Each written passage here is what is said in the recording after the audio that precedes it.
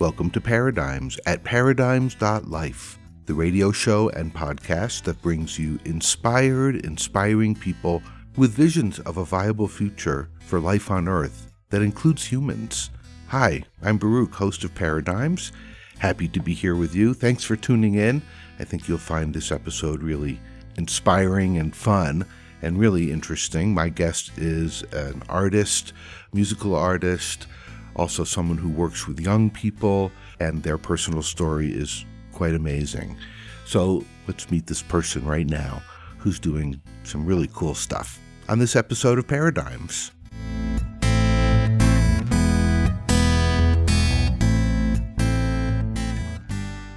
Emma G., welcome to Paradigms. Welcome to paradise. It's funny hearing you say that because I'm, I'm, actually from paradise. No.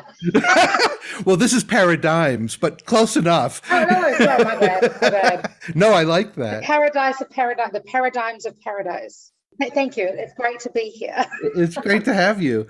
And you know, I know you go by Emma G, but you have the most amazing last name. If you could just say it for us. Uh, well, officially, it's Emerigimagami. Yeah, I'm not even going to try but I, I saw it written down and I just thought, wow, that is such a cool name. Thank you. My my my, my mother thinks so. so you're a very interesting person. I'm so glad I'm getting to know you. Uh, you're a musician, you know, so you're an artist, but you're also someone who works, especially with young people, mm-hmm. using art as a you're not a therapist, but as a therapeutic tool or an empowerment tool. Yes. And I guess before we get into all of that, which is very interesting, and hear some of your music, what's a little bit your story? Just a little bit of my story. As uh, much as you uh, want to tell. well, um, well, so I'm originally from New Zealand. Um, I was born in a small town, Cambridge, then Raglan, then Hamilton, New Zealand. My mother is from Pennsylvania originally. My father was from Fiji. I was born with a relatively rare neurological condition called hydrocephalus, which means I've had 10 brain surgeries during my lifespan um, and, and 10, 24 surgeries in total. I was blessed to have a mother that was defiantly determined to try to make sure that brain surgery did not mean that I was going to be um, held back. So she did everything she could from the day I was born to making sure that I was given every opportunity to excel, succeed, learn, and grow. Uh, and one of the biggest tools she found was the, the power of music and specifically of songwriting. So I've been writing songs since I was five years old. On my fifth birthday, I wrote a song called School is Cool because I'm a geek. Uh, and proud of it. Um, I was, I mean, I was making up songs before then, but my mother was the one writing them down. School is Cool was one that I actually wrote myself on the on the on the computer. And since then, I've I've written over 500 songs throughout my lifetime, um, and I've been able to find that songwriting has been specifically, you know, effective to helping my brain development, my cognitive development, but also to helping me overcome my emotional trauma, my physical trauma, my social trauma, you know, and other mental health um, issues that I developed as a result of, you know, being a young woman in this day and age. So I don't know how personal you want me to get, but, uh, you know, I've been very blessed, I think, to have the ability to write songs because that has meant that I can effectively learn new ways to be heard and be seen in a way that is not as confrontational, maybe, as having a conversation when dealing with um, situations like my ex boyfriend committing suicide or like my surrogate father dying from um, significant alcohol abuse or from my own histories of depression or of sexual abuse, sexual assault, physical abuse, you know, things that unfortunately we, we like to pray and hope and, and imagine that things don't happen, but they do. And, you know, in fact, I think one in four women are sexually assaulted um, every day. And so this is one of the ways, effective ways, that I've been able to not just speak up about my experiences, but also be be able to speak about it in a way that doesn't feel scary. You know, having had brain surgery is scary. Being called a Frankenstein or a freak is scary. Being able to, to write and sing about my truth and have people then turn around and say, You're so brave. I'm like, Oh, how the tables have turned. Okay. so, you know, that's that's a bit about my story of how, you know, I've come to be where I am now. That's the first part of my conversation with Emma G, telling us just a bit of her personal story. Wow, she's been through a lot, and what amazing energy to come through it with. We're going to listen to some music now from Emma G's album Born in Crisis, and then we'll be back with more of our conversation. Let's start out with the first track on the record. It's called Behind Her Eyes. You're listening to Paradigms at paradigms.life.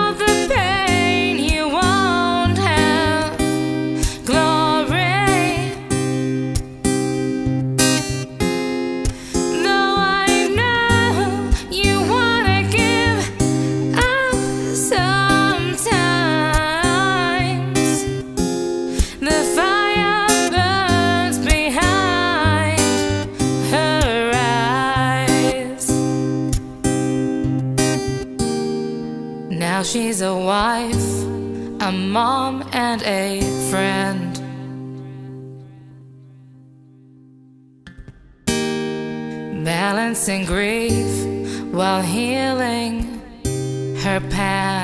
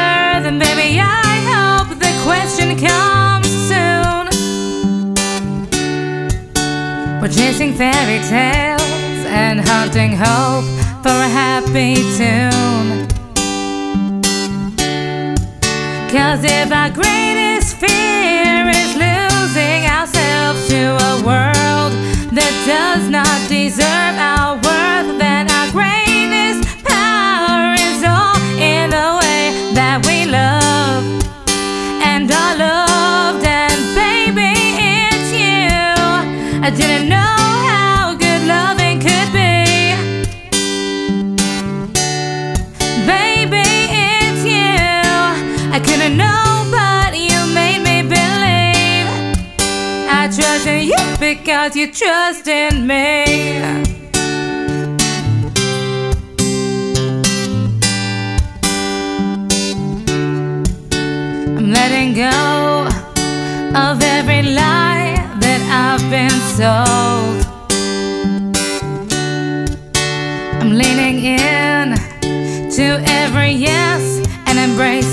No. Cause if love is the answer, why have I always put myself last?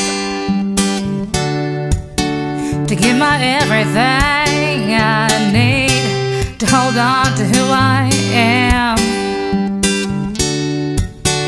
Cause my greatest fear is losing myself to a world that does not respect my worth. But the greatest power is all in the way that I love and get love. And baby, it's you. I didn't know how good loving could be.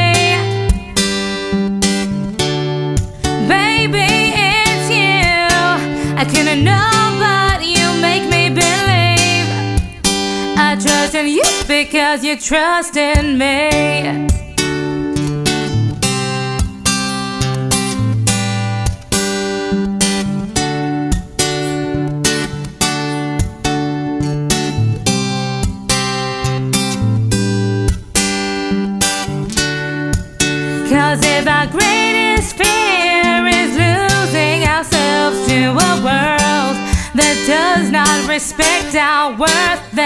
The greatest power is all in the way that we love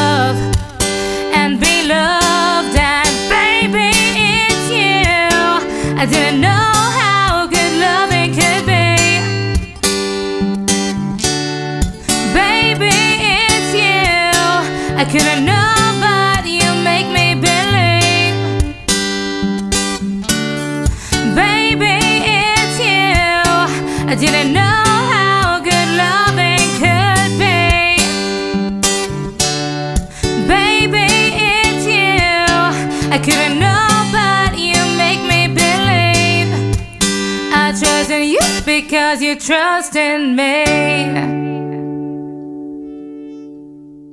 To Love and Be Loved. That's Emma G from her album Born in Crisis.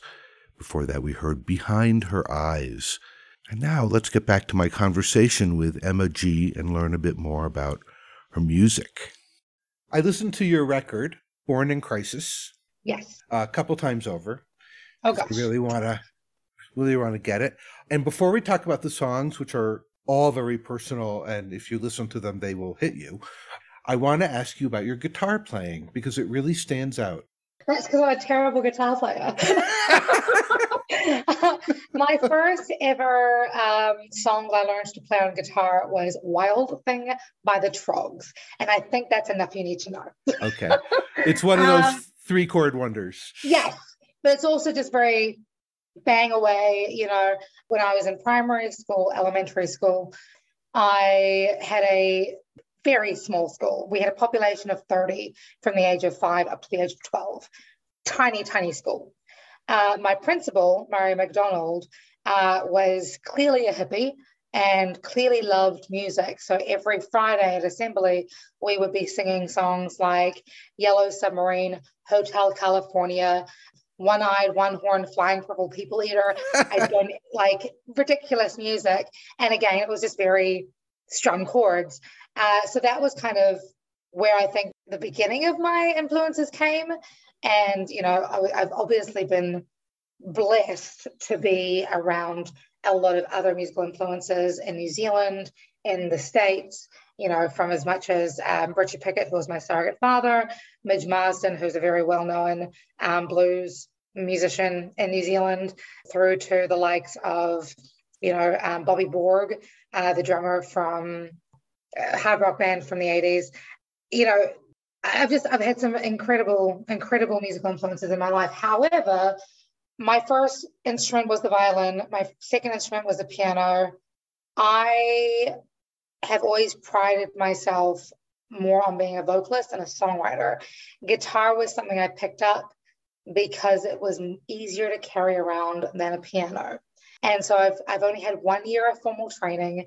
The rest of my, my training has just been me strumming along to guitar, you know, to songs on the radio or, or just learning chord progressions. And therefore, I'm not a guitarist, but I fool people into thinking that I'm okay. So that's why Born in Crisis has so much ridiculosity on it. Because it doesn't sound like you're banging away. It sounds very deliberate. Now, as a very, very bad guitar player myself, I know that I can record some good licks and string them together and make them sound good.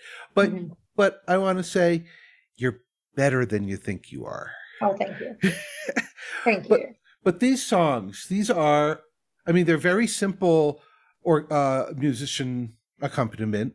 It- Mhm. This is not complicated, heavily produced music. It's very Mhm. personal. And each song really feels like you're telling me another bit about you. Mhm. Born in Crisis came as a result of I set myself a lofty goal back in 2021 to write a song a day for 30 days straight. So that's what I did. Wow. From the end of January through to the end of February, I wrote a song a day. And knowing full well that some of them would be terrible and some of them would be okay. What I wasn't prepared for was the level of honesty that that record has that I didn't know I'd been hiding from. This is the thing about songwriting. I forced myself every day to write a song. I had no idea what was going to come out of me, whether it was a weird chord progression like with Faith in You, or whether it was like stupidly honest lyrics like with Miss Me With That. I wasn't prepared for any of it. I was just like, okay, let's just see what comes out. Let's just see what the universe wants to tell me today. And so as a result, I found myself writing, you know, Behind Her Eyes, which was actually meant to be a tribute to one of my super fans, a member of the Emoji Nation.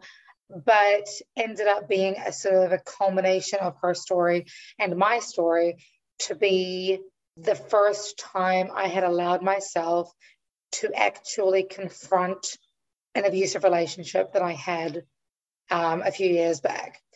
I wasn't expecting that. Miss Me with that was literally inspired by an episode of The Daily Show with Trevor Noah when he was talking about things, you know, like how ridiculous events were happening back then. He's like, oh, you can mess me with that. And so I was like, that's a cool title. Let's see what happens. Uh, so I ended up writing this song and then come to find at the end of the song, holy this entire song is about how people have been judging me my entire life about the fact that I have scars on my body as a result in my head as a result of hydrocephalus. Miss me with those judgments.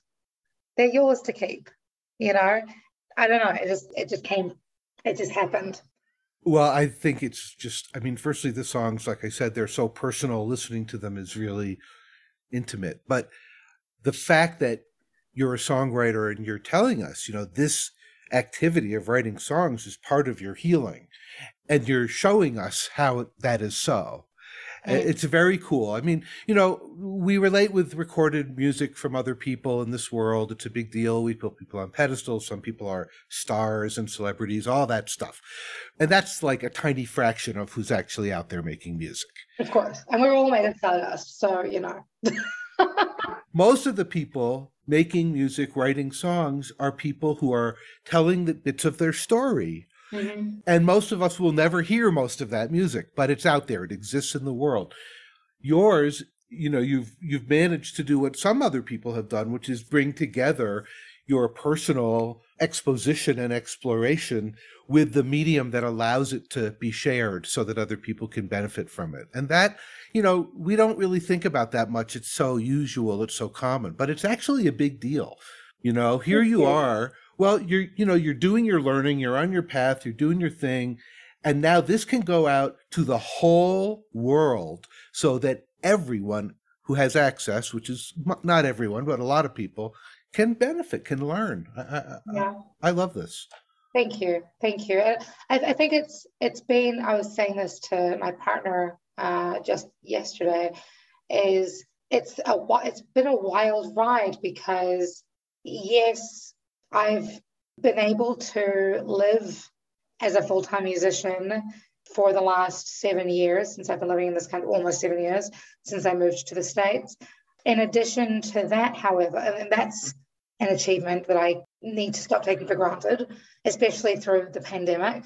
But more importantly, you know, when I, I keep looking back to when I was five, when I wrote School is Cool, and I wrote down what I wanted to be when I grew up.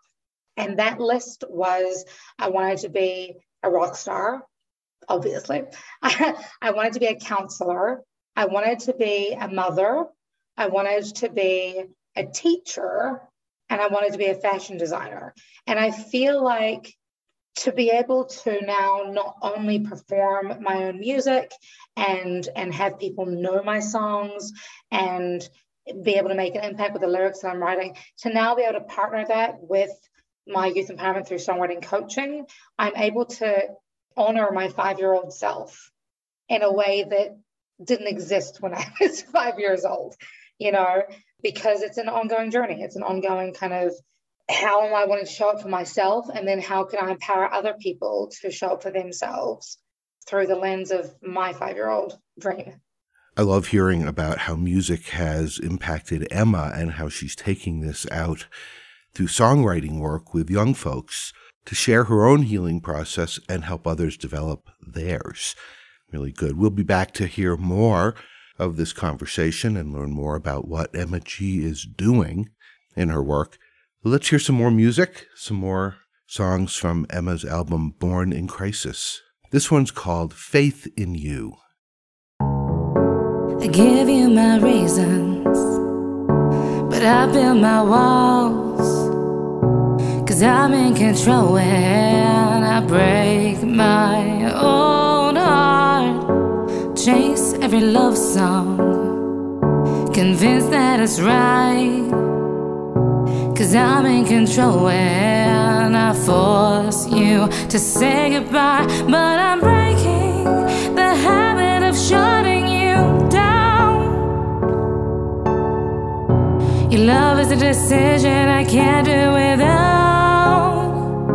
I'm breaking up with the past that no longer serves me.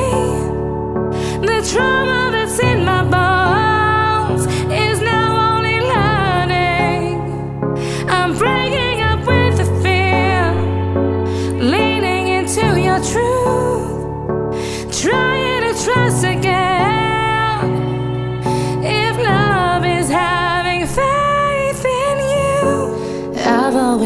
away.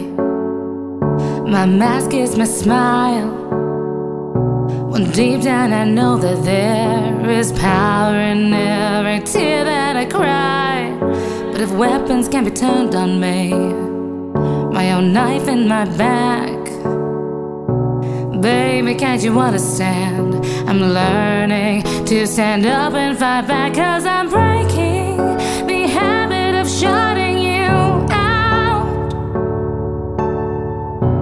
Love is a decision I can't do without. I'm breaking up with the past that no longer serves me. The trauma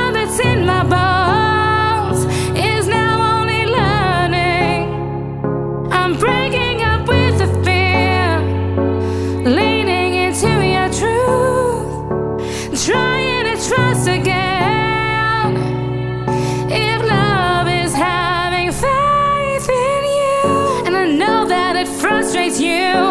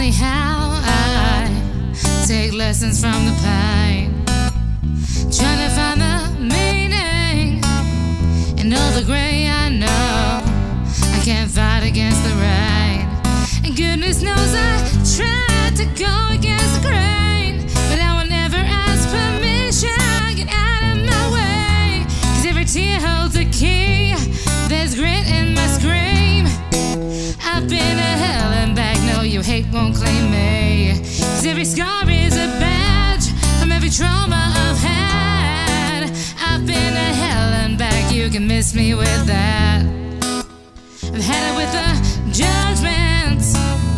It's funny how you put limits on my soul, turning bullshit into gardens. You're all the same, I know. We all fear what we don't know. And goodness knows I try not to go against the grain. But I won't ever ask permission. Get out of my way. Cause every tear holds key. There's grit in my scream. I've been to hell and back. No, your hate won't claim me. Every scar is a badge from every trauma I've had. I've been to hell and back. You can miss me with that. And all you see is sick when I see survive. I've taken all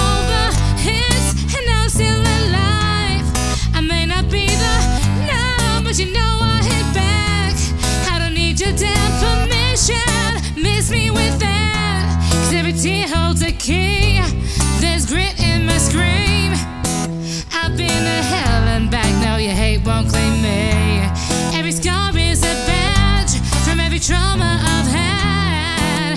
I've been to hell and back. You can miss me with that. Every tear holds a key. There's grit in my scream. I've been to hell and back. No, your hate won't claim me. Every scar is a badge from every trauma I've had. Hell and back. You can miss me with that. Miss Me With That. Emma G from Born in Crisis. I love that. Yeah, you can just miss me with that negative stuff. Before that, Faith in You, another beautiful, really personal song from Emma G's record Born in Crisis. What do you think about Emma G, her music, this conversation? I think she's pretty amazing. Love to see your comments. Now, here's the next part of my conversation with Emma G. You're listening to Paradigms at paradigms.life. Let's talk about youth empowerment through music. Yes. What do you do? and and who comes to Great you question. and what happens? Okay. Okay. So it's funny that you say that because I literally talk about this in my TED talk, which I did a couple of weeks back. Um, should be coming online very shortly, which I'm very excited about. Congratulations. Um, thank you. Thank you. So basically, there have been countless studies throughout the entire country, world on the therapeutic benefits of music. We're all aware of them. Music has been scientifically proven to elevate our dopamine levels, our oxytocin levels, lowers our cortisol levels, helps with our stress, helps with our clarity, um, helps with our concentration, so on and so forth. It- we all know this. It's, it's, it's fact these days. Youth empowerment through songwriting uh, coaching is the yes and approach to that music uh, therapy. So it's it's important that we we we take hold of the creative relevance that music gives us. And I say that because I know that a lot of schools unfortunately don't necessarily hold music in high regard as much as they could, or in my belief should. So what, what I what I do is I take that that music and now we have a lens through which young people can start to learn more effectively about themselves. There is a philosophy in many different cultures and religions and belief systems that we all hold our answers within us. We all know our truth. We all know what's right and wrong intrinsically within us. We all know what's right and wrong for us. We are often so bombarded with outside influences that we lose track of that core truth within us. So, to partner songwriting with music, it's allowing young people permission to don the superhero cape, is what I call it, the, the mask, the costume, whatever, um, of music to help them be honest with themselves again, to help them find the languaging to communicate effectively, to help them give themselves permission to speak their truth, to help them, you know, just be them. Here's the tricky part, however, and this is where music and songwriting, the, the marriage between music and songwriting is so beautiful. Because when you have elevated levels of dopamine and oxytocin, as well as lowered levels of cortisol, our amygdala and our um, nucleus accumbens work in tandem, which is the, the parts of our brain. Uh, they work in tandem with each other to actually help us rewrite our emotional responses to the events that have happened to us. So when we use music and songwriting together, we can now, instead of sitting in our funk, sitting in that space of life is terrible, why me? Everything is hard. Why was I the one born with hydrocephalus? None of my friends have had brain surgery. None of my friends have even broken a bone, let alone been to hospital. You know, why is it that I'm the one that was sexually assaulted? Or why are my parents divorced? You know, whatever it is. Now, through marrying songwriting and music together, you can turn that around and say, oh, okay, this has happened to me. I've been called a freak my entire life. I'm going to wave that freak flag proudly. And I'm going to give other people permission, who other people who feel out of place, permission to wave their freak flags. And what do you know? Now I built a community around myself. Or I have been told my entire life that I'm too much, or that I'm too loud, or that I'm too abrasive. True story. Um, you know, that can be hurtful. Or it can literally, you know, I can I can use trigger my nucleus accumbens and my amygdala to rewrite that programming to be like, okay, we're clearly not reading the same book. Jog on while I find my real people. And as a result, I've been able to find this community of, of, beautiful other freaks who just like love unapologetically and stand in their authentic truth and strive for the stars and, you know, do all the things that they want to do because I'm doing all the things that I'm wanting to do. Marianne Williamson says it perfectly, you know, it is our light, not our darkness that scares us most. Who are we to shine bright? When in fact, who are we not to? Right. And so songwriting gives me and other young people that I work with or, or not work with gives them permission to shine their brightest unapologetically without feeling scared. Now, a lot of people are probably listening thinking, I could never write a song.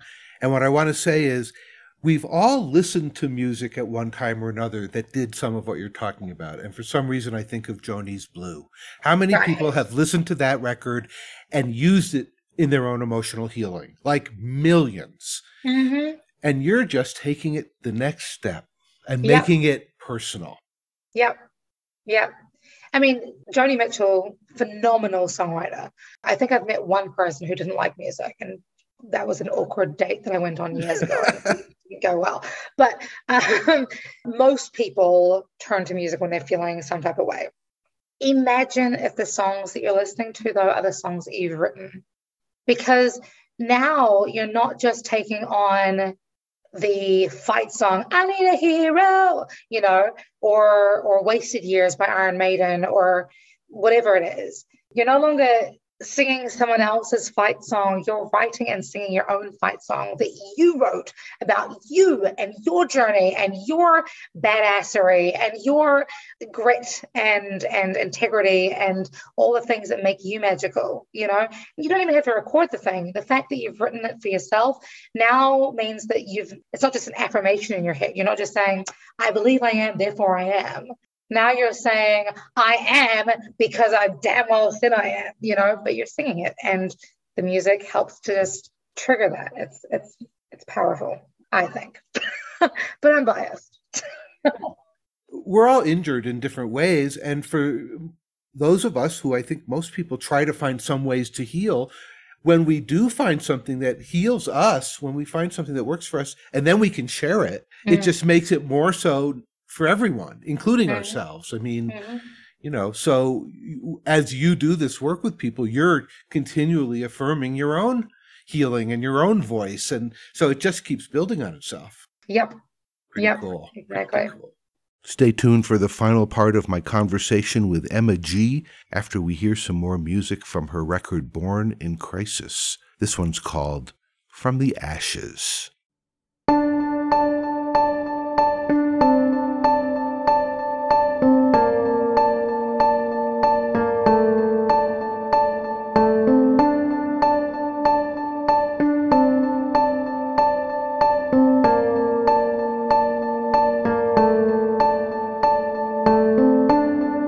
You thought you knew it all, and everything was certain.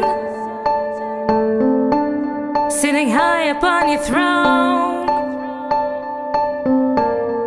so comfortable, assertive. But chaos has a habit of testing who you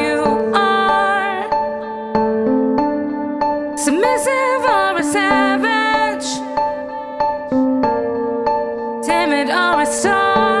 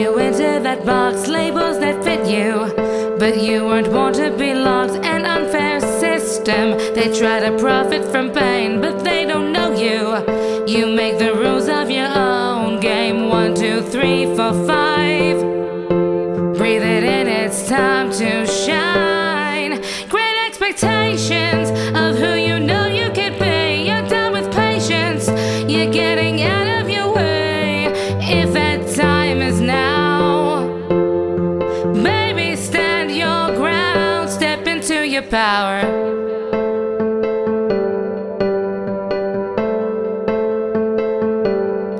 Your psyche hurts you with every lie you believe. They're not about you, what they choose to perceive. Unjust society will paint an image that's wrong, cause they don't know you. You are the leader of your own song. One, two, three, four, five.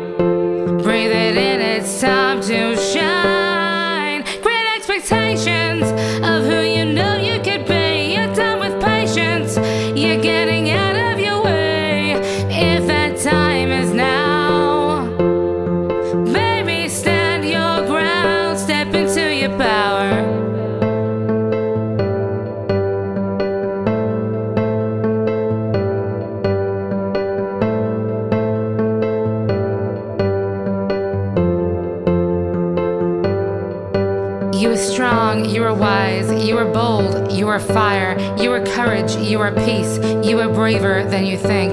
You are gorgeous, you are truth, you are fierce, you are proof, you are perfect, you're enough, you are loved.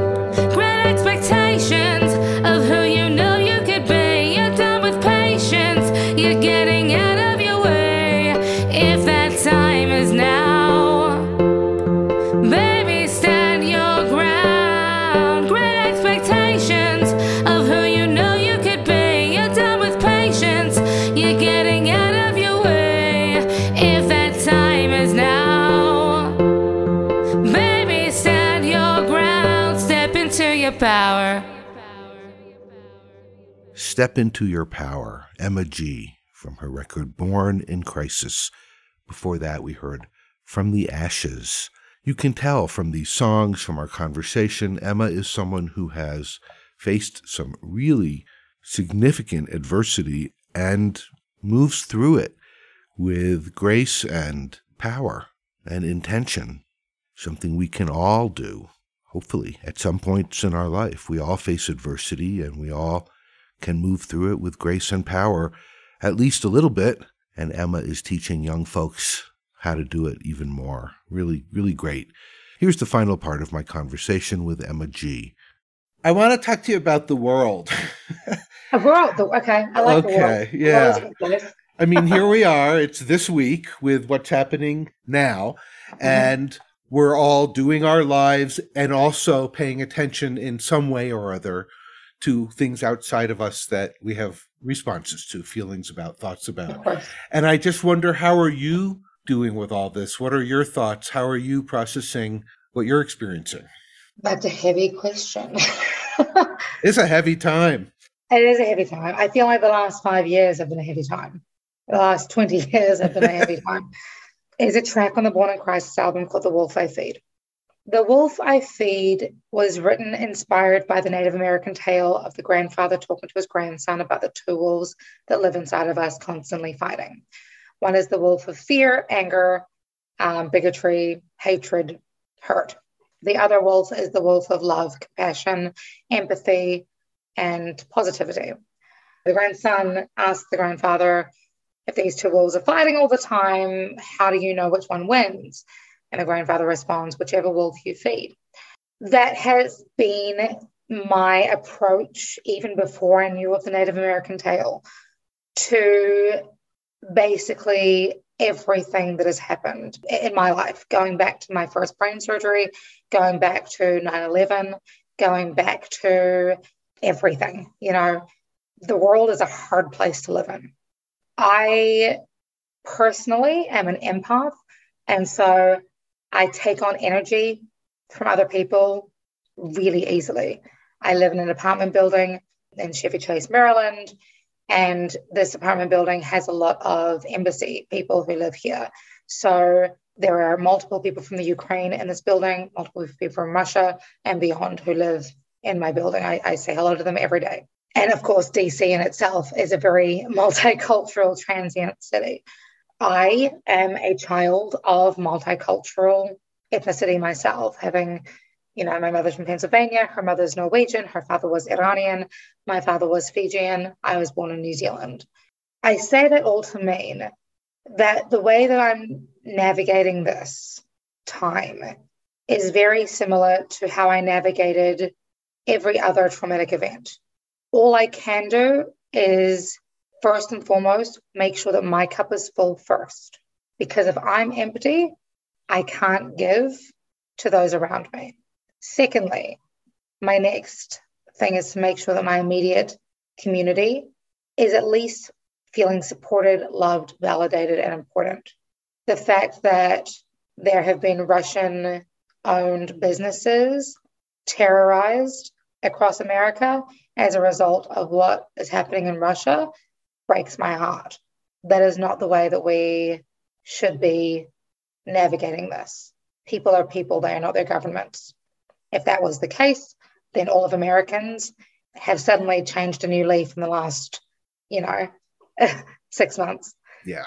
I am incredibly hopeful that the United Nations, the NATO, that the UN will help to come up with a way forward in a way that doesn't hurt, harm, or negatively affect too many people. I'm incredibly uh, inspired by the Ukrainian people, but I really want to pay most attention to making sure that the example I'm leading is one of equity, one of justice, one of trust, as in I'm somebody who is safe to approach, and one of just like super compassion because everyone's hurting right now. I also want to add to that that I wish that we were having these same conversations when these events were happening in Afghanistan, in Syria, in Sudan, you know,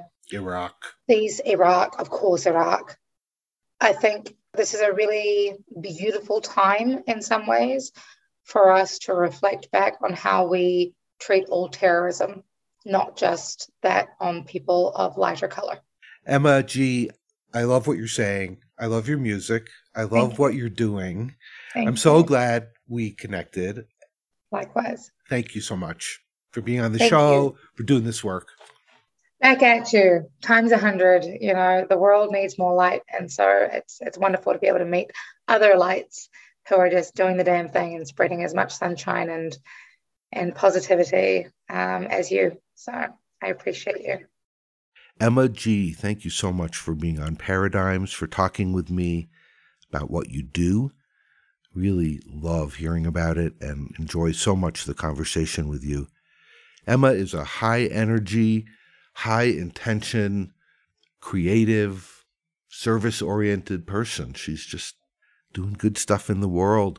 What Emma's doing would be amazing if she hadn't faced the adversities she's faced, but she has. So, wow. If you'd like to know more about Emma G, learn more about her youth empowerment through songwriting, listen to her whole record, learn more about her personal story, her website is emmagmusic.com. Really simple. E M M A G music.com. Definitely check her out, learn more about what she's doing in the world, be inspired. Thank you, Emma.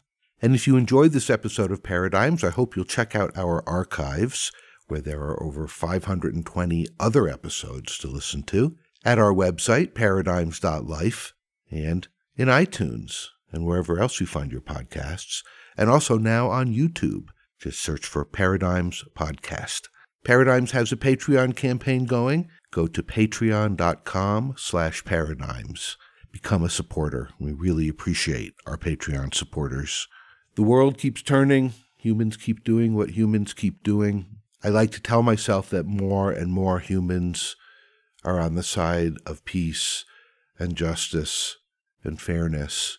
Some days it's easier to believe that than others, but I keep focusing on doing my little bit that makes a difference. And I'm sure everyone listening does their little bit that makes a difference. That's how we make the world a better place for everyone.